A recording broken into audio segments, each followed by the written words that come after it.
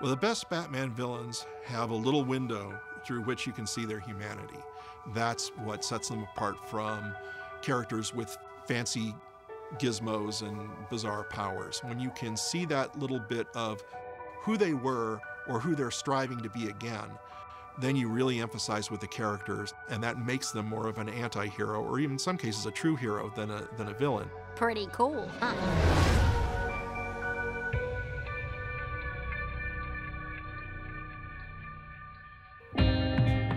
Quinn started off as basically just as a way to kind of um, keep the idea of having Joker having henchmen, you know, fresh because every every episode he'd have different henchmen, and uh, Dini had the idea to change it up and give him a, a to give the Joker a henchwoman, and he thought of the name Harley Quinn as a kind of a pun on the classic Harlequin.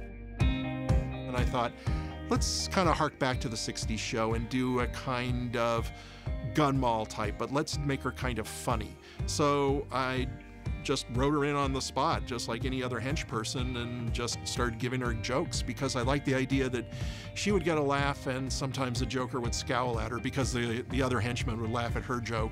It was just kind of like we put her in the show, and she was fun, and we moved on, didn't think about it. And then when we um, got the episode back animated from overseas, we kind of went, oh, this is actually quite nice. This is a really interesting character, and she's really appealing. And you know, she looked great on screen, and she was funny, and she was sexy, and it was just kind of like, huh, well, how about that? If you've got a story about the Joker terrorizing an innocent guy, it you need a couple of laughs in the things. You need lighter moments, and Harley just seemed to provide those from the get-go. She was the Joker's sounding board. She was someone for him to talk to. She could be playful. Time, Davy, the joke's on you.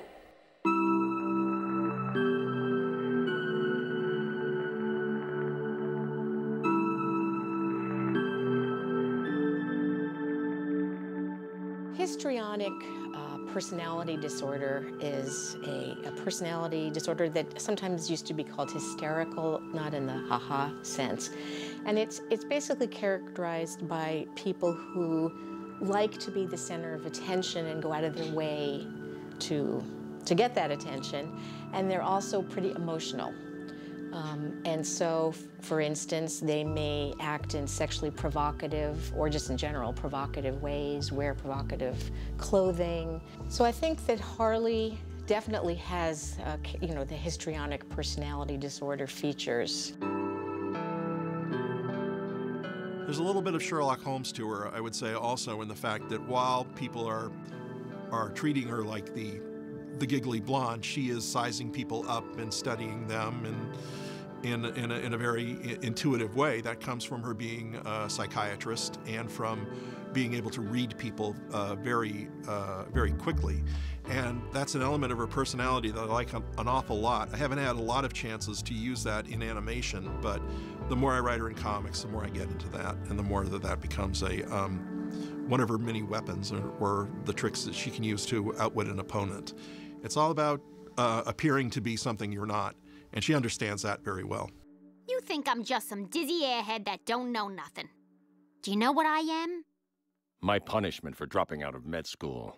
Eh, wrong. I'm the answer to all your prayers, Pally. Harley is very deceptive in that what you see and what you hear isn't always what's at work there. She's got a little bit of like Tweety Bird in her also, where you underestimate Tweety because Tweety is small and appealing and talks with a little squeaky voice. Um, but Tweety is pretty pretty savage and can can really deal with any opponent. And it's the same with Harley. Yeah, dangerous loony over here. Never know what she's gonna do.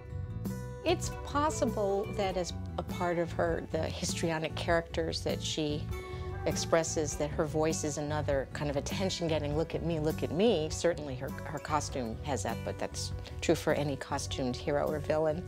Um, but the voice, it is confusing to see an adult woman speak in that way. Well, when I was writing Joker's favor, uh, in my head was a the voice of a snappy blonde when I was writing her dialogue.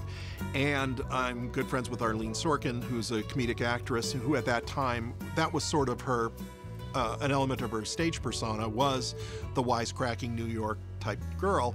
And I made a connection between the two of them, and I thought, well, maybe there's a, a little bit of inspiration there. It's kind of a kind of a classic type, the brassy Brooklyn girl. Paul seemed to, to, to write her dialogue to kind of reinforce that in her, her kind of, she uses this kind of like, like old school 40s, you know, gangster slang and stuff. Um, and then, then Arlene just kind of came in and just did it. And it was like kind of exactly what we wanted. They're finny and funny and oh so delish. Typically, Dr. Quinzel's voice was an adult voice, Hi, Joan. Call me Harley. Everyone does. and Harley Quinn's voice is more childish, it's high pitched. She speaks with more colloquial slang. One explanation for that is in, in her abusive relationship with the Joker, that she tries to be one down from him. And it's sort of childish, making him the top dog, if you will, and, and therefore not a threat. Because when she's competent, she typically does threaten him and he gets angry. I mean, it threatens his sense of himself and masculinity. And so, you know, in that sense, her speech pattern and pitch is duplicitous, and you can underestimate her. Bye bye. She was basically just funny and cute and kind of kind of deadly um, originally, and she started developing different aspects of her personality the more we dealt with her. Um, I think the big turning point came when we did when Paul and I did the uh, the Mad Love comic book, which was her big origin story. There's a lot of subtext to Mad Love, and it a lot of it is on the page, and some of it the reader can make a kind of logical uh, jump and fill in some of the gaps. But with that story, more than anything, we wanted to show that Harley slash Harleen Quinzel was a very complex person and a very intelligent one, very driven personality, and also show that she is a, a tragic personality as well. That there's a difference, I think, between being a, victim and also being, you know, a, a tragic character. And her, the tragedy of Harley is that she loves too much and too unwisely. At what point did my life go Looney Tunes? How did it happen? Who's to was always intended to be a comic. Um, later on, we did adapt it to to animation, um, and uh, we did have some issues with BS&P at that point in terms of some of the, the more problematical uh, adult nature of the comic. Um, but it was all relatively minor. I mean, the idea that that she was in this kind of codependent, you know, abusive relationship with the Joker It wasn't really an issue with them. It was just literally a matter of, oh, you know, violence against women. Joker can't hit her. He can't do this. He can't do that. And oh, the scene where she's trying to seduce him that has to be toned down. And but it was all really minor, you know, notes. It was all very specific. It wasn't, you know, the the, the broader theme of it seemed to kind of went went over their heads. So. Face it, Harl. This stinks. as formidable as she is going up against other people, she does have that quirk in her personality that she is uh, an enemy to herself as well. And Mad Love, we really wanted to ex- to explore that and, and create an entire person to show there was an entire character there as much as we could and as much as we knew her about her at the time but i think it works very well and so at the end you look at her not only as a you know a villain and somebody who has you know started this caper and failed but also sort of a tragic character somebody that you empathize with a little bit and you feel for. And uh, i think a lot of people respond to that. I feel like despite your best intentions sometimes you wind up being your own worst enemy. She is an innocent in in all senses of the word when she starts to become Harley Quinn. She was a good person. She was trying to help people, and the Joker kind of threw her off her path. I think that uh, Har- Harleen Quinzel likes a challenge. For someone to voluntarily work in a prison setting, they have to like little risk. And the Joker, although she prepared herself for all of his shenanigans, uh, he knew how to play her. And he got her in her soft spot. And she fell in love and wanted to basically be his champion.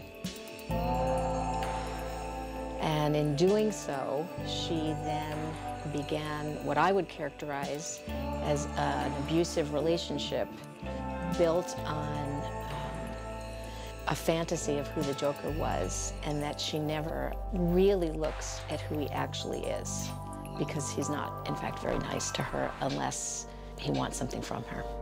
It really gave a sympathetic backstory to somebody who was really a crook.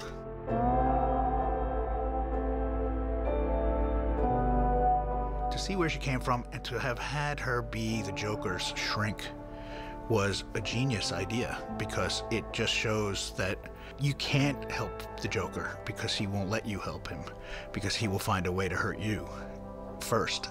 And that's what he does with Harley.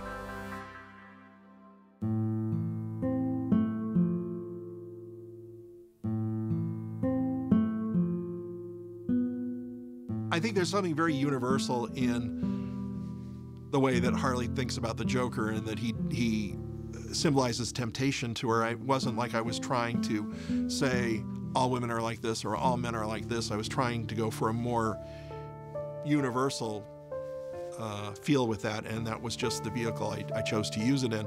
But we've all fallen for the wrong person. We've all put ourselves down, and because we've we've thought more of somebody else because they bring something more to us. And I think he loves what he has turned her into, almost in a sort of a Pygmalion type way. He fell in love with an aspect of his creation. Like he thought, like, oh, you know, here's this doctor, and I can kind of maybe play her for a dupe or maybe have a little fun with her. And then she became something not only on his level, but even surpasses him in a way. And I think that there is a weird sort of attraction from him toward her on that aspect of like, wow, that I hadn't expected that. I don't think he is capable of love quite in the same way that a rational person is, but I think there are elements of Harley that he does really adore.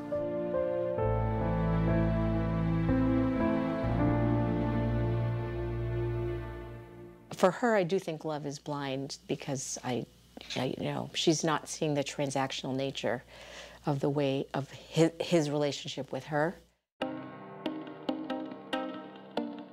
I think that Harley loves him, um, whatever that means to her, and he was the impetus for her transformation. And so if she's not with him, kind of why is she Harley Quinn and not Harleen Quinzel? And maybe that's part of what perpetuates her love for him. Harley as a character has changed over the years, but almost always in relationship to changes in the Joker. We can think of Harley as the moon around the Joker's sun. And so as he changes, she too must therefore change because otherwise their relationship has to change by definition. The stories where Harley is out of the Joker's orbit, you know, where she's with, with the gals, she becomes a different person whoever she's with. She's, she is someone who is really responsive to her environment. And so her changes really just reflect a change in her environment. I would not say that they're particularly internally driven, except that, you know, occasionally she dips into the morality she had as Dr. Quinzel and will not take a life. Um, but, but otherwise, who she is, is is a function of who she's with. Over the years, Harley's kind of evolved. When we did this story, I because she's become so popular on her own, I kind of wanted to just ignore the Joker completely. Oh, shucks. Because she's a strong enough character that she can, you know, at this point in her career, can kind of stand on her own. So, um, whether we'll bring the Joker back in, in future stories, I don't know. I kind of am reluctant to do so if we do another Harley story after this. I still kind of like to avoid the Joker, um, just because we've done a lot of it, and there's other kinds of stories we can tell with Harley that don't necessarily revolve around her being the Joker's, you know, um, love interest or former love interest or whatever they are anymore. I don't want to see her being the hench girl forever with, with the Joker. I'm done with capes and tights and masks. Just trying like hell to lead a normal life. The Joker's not in this movie, so she's trying to stay away from him because she knows what kind of a bad influence he can be on her.